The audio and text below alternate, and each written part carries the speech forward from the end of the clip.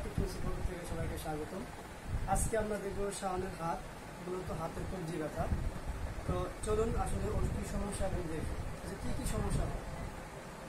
Pen করে চাপ দিলে পেন করে মুভমেন্ট করলে পেন করে। এখানে ফুলা আছে।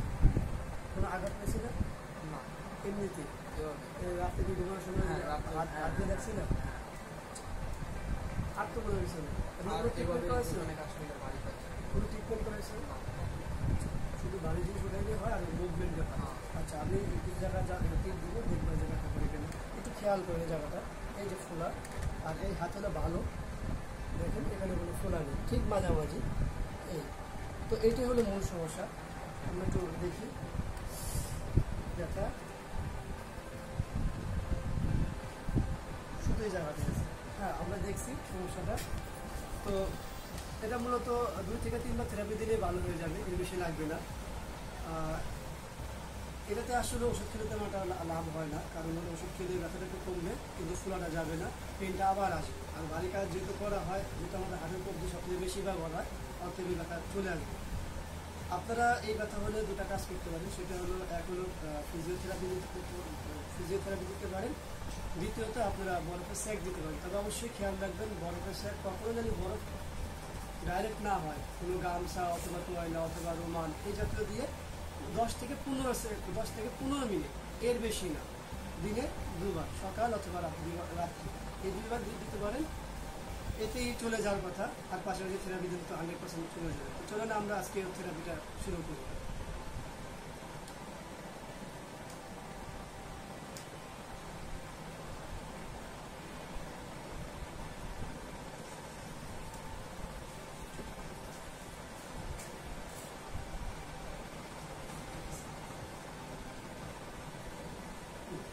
দেখেন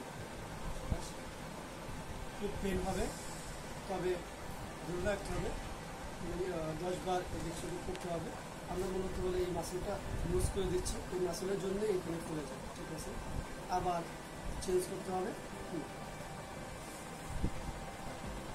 এই একবার থেরাপিতে ইনশাল্লাহ তার ফিফটি পার্সেন্ট চলে যাবে।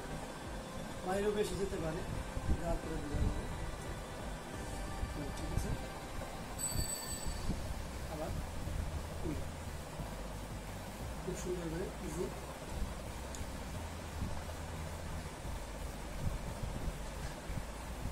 ব্যাস আবার একটা মেঘে চলে যাব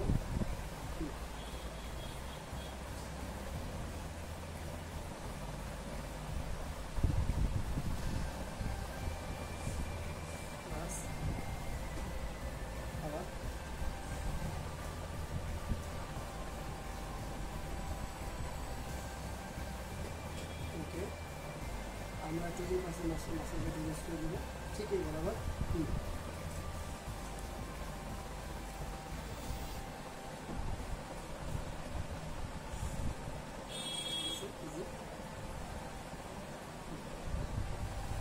এটা অনেকভাবেই করা যায়। আমরা এইভাবে করলে সত্যি সুবিধা হয়। এতে পেশেন্টের ব্যথা কম লাগে। আর অন্যভাবে আসলে ব্যথা বেশি নেই, যার আমরা এইভাবেই দিয়ে থাকি। আর এতে কার্যকারিতা খুব ভালো ঠিক আছে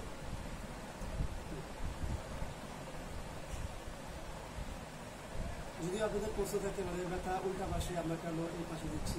আসলে এই পাশটার সাথে ওই পাশে অনেক সম্পর্ক আছে। এই পাশের মাসের লুজ হয়ে গেলে অটোমেটিক ওই পাশের ব্যথা চলে যাবে। ঠিক আছে? এরপরে আমরা একটু এখানে জাস্ট রাবিং করে দেবো। যেটাকে মেসেজ বলি আমরা। আর প্রথম দিন একটু পেন করবেই।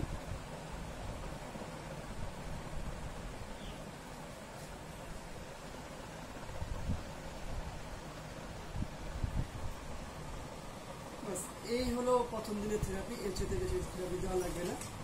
তো এখন একটু নাড়াচাড়া করে দেখো ব্যথা কতটুকু কমছে একটু দিয়ে দেখো।